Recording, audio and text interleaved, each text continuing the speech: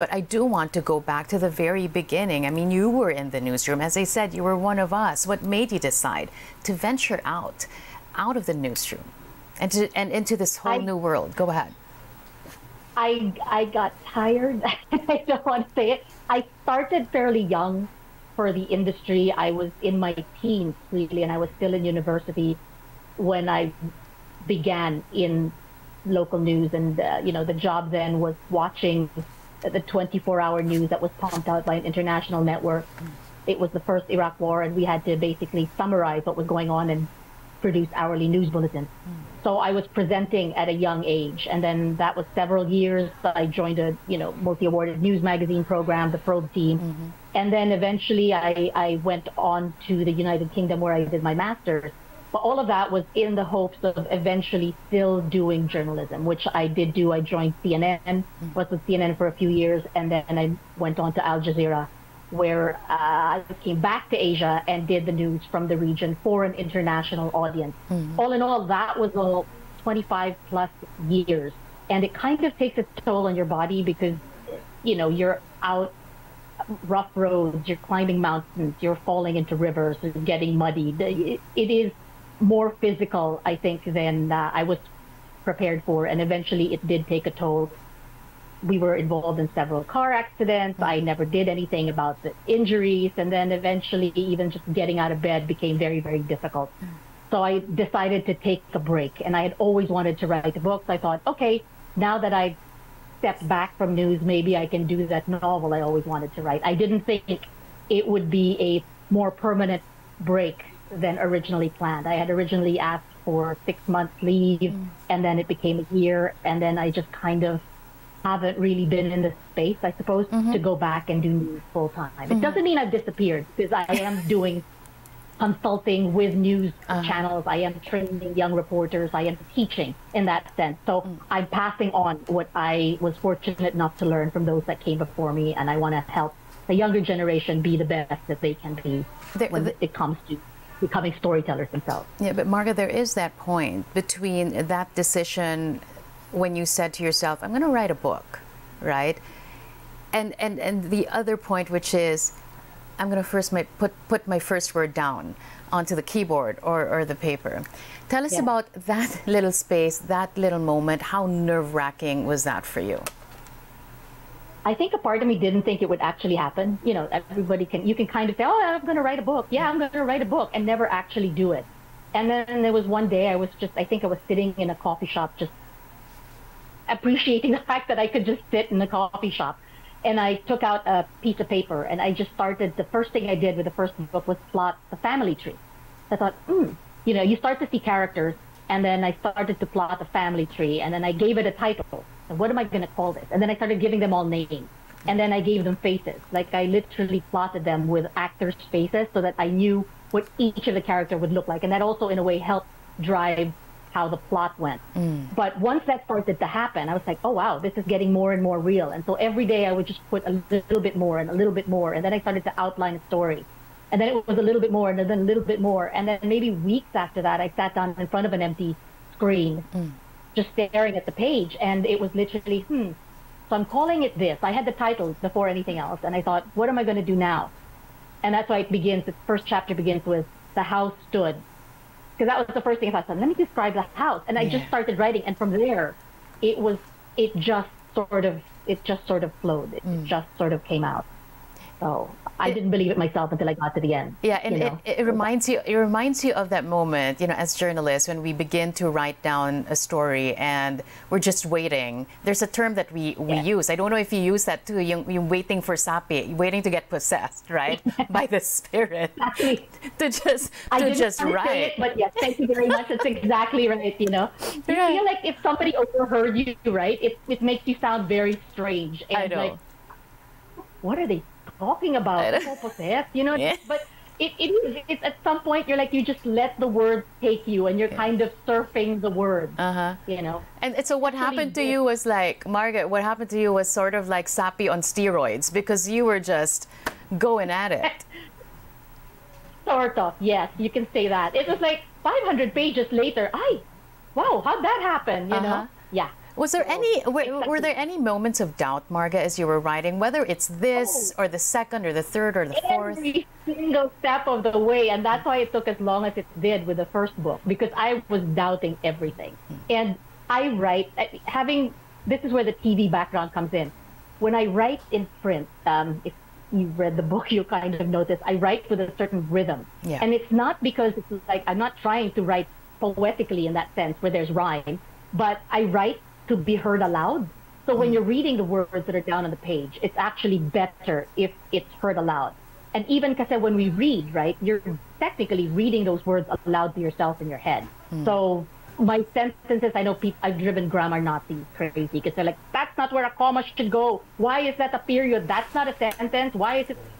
But it's, it's written to be read aloud. Yeah. And that's thanks to the TV training because that's how journalists speak on mm-hmm. TV. You're you're speaking into the air, right? Mm-hmm. You're speaking to be heard. Mm-hmm. So that's how I did it. And at every step of the way, I'm like, readers are going to hate this. The editor's going to hate this. Mm. No publisher's going to want this. What am I doing? And I just, at the whole time, I kept pushing myself forward by saying, Bahala na, you've gotten this far. If this is what's coming out, trust the sapi, mm. right? Just trust what it is that's moving you forward. So that's what I did. Mm. And then it was really, really bahala na. Yeah, because you know? I was going to ask you, women most especially, um, you know, the, we hear a lot of voices of doubt right? Women most especially, yeah. either because exactly. of the an intergenerational influence, cultural influence as well. But I was going to ask you how how were you able to um, make your voice, your inner voice, louder than the inner doubt you were hearing? My inner voice is so loud sometimes. I wish it was quiet down. what happens is it you know I might have the doubt, but then at the same time I think if I listen to the doubt, what's that gonna do for me? Will that bring me any kind of joy? Mm. If it won't, then why am I going to listen to it? If it's just gonna make me miserable, I'm going to ignore it.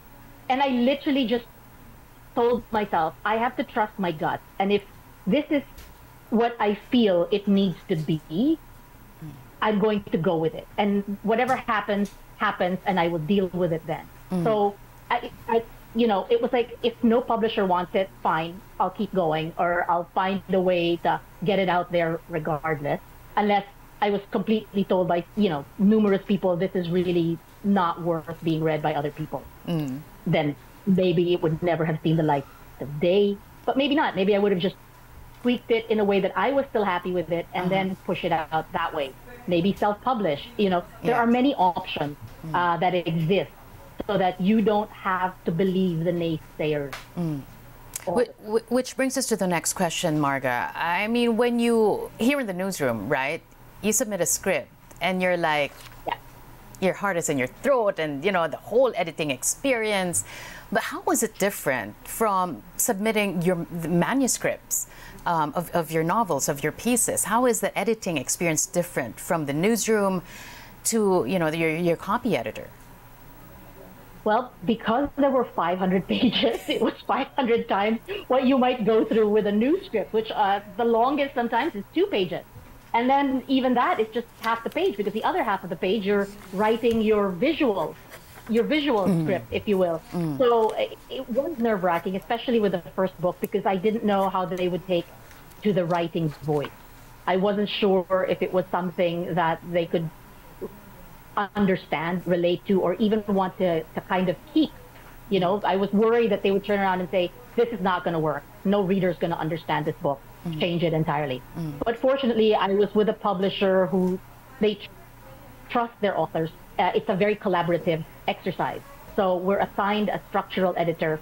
They go over your script, uh, whatever questions they might have. They will send you back the document with the questions. You then clarify if it's something that needs to be clarified in the text. You do that. They're very helpful. Mm. It was a very much a give and take, you know. Mm. Uh, and then after that, it goes into a copy edit, and then somebody else will look over everything to make sure that the way you've written the text itself transmits what you mean for it to transmit. Mm. And in all of that, ultimately, they still rely on the author because if the author then says, I'm not very comfortable with the changes that you put here, then it's discussion. It's not an edict. It's not a no, this is the way it has to be and that's that. Mm. So at every point, the publisher was also very respectful of the author as, in a way, the owner of the story. Mm.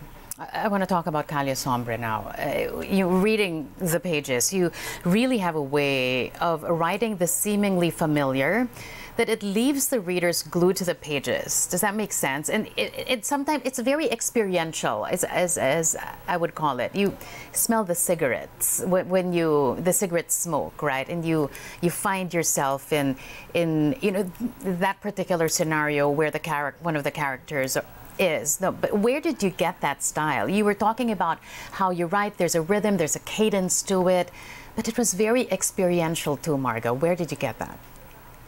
I think that also comes down to being a journalist. Because when we're out in the field, right, you can't just be relying on what the camera is recording or what the sound is recording. You also have to be paying attention to absolutely everything.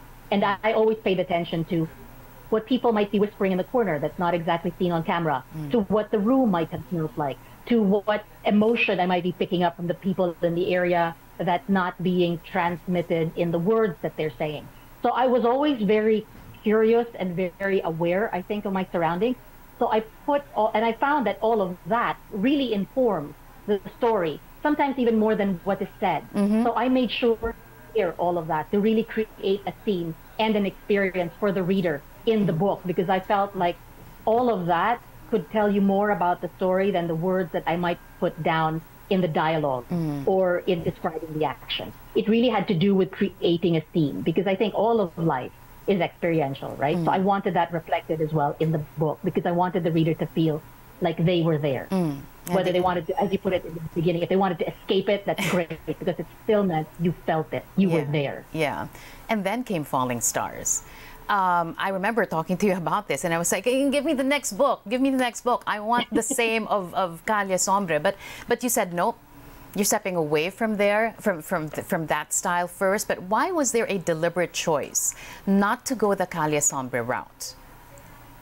I think I got again. It was one of the things where like I lived with the characters for so long. I think it took me three years because of all the doubt and all the stepping back. It took me three years to complete Calle Sombra, the manuscript, and I I, I needed a cleansing of the palate for a little bit, like to step away from it and write something else. Mm. And the tone, I'm sure you noticed, is very different. Like whereas one might seem much darker, an exploration of the light via the darkness, if you will, right? Mm. The other one, ironically, looking at the new stories that I did, is slightly more optimistic mm. and a bit more hopeful in how it looks at the human experience. Mm. So I think maybe I needed that for myself as well. And we were all just coming out of the pandemic at that stage. And I think we all needed a little bit of lightness mm to look at. So I think that's why I went that way right mm after something like Opera. And when when when you, you were talking about the public your publisher um, just a while ago, you're sticking with the same, right? From the first to the fourth, you still have the same yes. publisher. Yes. How yes. important was it for you that they respect that this is how you want to go? Because some publishers would want the same kind of, of, of formula.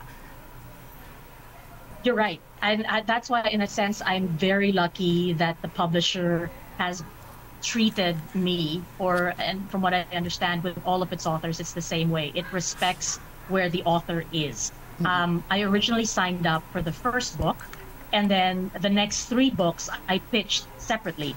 So I was really just under contract for Sombra, and then after that, I had the idea for the other three. So I thought, well, why not submit it to them and see if they want it? Mm. And fortunately, they did. Um, and they wanted all three, which I wasn't expecting. So I was like, well, okay then. And then they kind of plotted out which book they wanted first, and then how could I finish the books according to the schedule that they might have wanted to release them in. And we discussed that a little bit. And so this is where we're at. So the next book that's coming out after Stars is another novel, uh, another work of fiction, and then the next nonfiction will come out after that. Okay, you've. And it just so happened that they agreed. They could very well have said we, we're not interested, mm. and I'm just. I'm, didn't say that. you, you've been surrounded um, in your both in your career as, as a journalist and now as, as an author, right? You've been surrounded Sorry, by by. That? You've been surrounded by great storytellers, women storytellers, even when you were starting as a young journalist. Did you hear me? Can you hear me, Marga? I seem to have lost the audio. Give me a moment. Okay. I'm talking right now. I'm talking right now, and then Marga Ortiga is on screen trying to figure out the audio. We have it. You have us back. Okay, perfect. So as I was saying, earlier on in your career, you were surrounded by you know great women storytellers, right? And even now as an author, you're exposed to that as well. Uh, what makes women a good and great storytellers, Marga? Tell us. I think it's because I don't want to generalize, but women, in a sense, I guess historically, have been expected to stand back, right? And because we stand back a little bit more than the men might be expected to, I think we pay attention more to what's happening around us. And because we're paying attention more, we are then better able to put things together or understand what's happening in a different way to somebody who is more proactive or more involved in the activity that we are then witnessing. Mm. Uh, again, I don't mean to generalize, but I'm just saying maybe in a historical context that can explain why women are the nuances in the way a woman tells a story might be very different to the way a man might. And the things that we pick up even when we're working on the field, will be very different. And that's something I touch upon as well in There Are No Falling Stars in China, where at one stage we were an all woman team in one particular story. And because we were all women, we were able to tell a very different story than a man might have because we were allowed into certain places that men were not allowed. And they spoke to us differently because we were women. Mm. So I think it's just each each individual really and not just limited to the gender mm-hmm. will attack stories very differently. And that's why the very same event can be covered by many different reporters in a variety of ways. And that's because i think we bring our entirety as individuals in the way we then tell the stories that we witness. Mm, and, and i want to wrap up this conversation marga with this final question. And i feel like before I ask you this, I feel like I, we need to have a drink of some sort to just really ponder on what you're about to say. But what is that? What is that one story that you're just really waiting to tell, whether it's as a journalist or as an author? You know, I think it might change because at one stage, that one story I really wanted to tell was Sombra.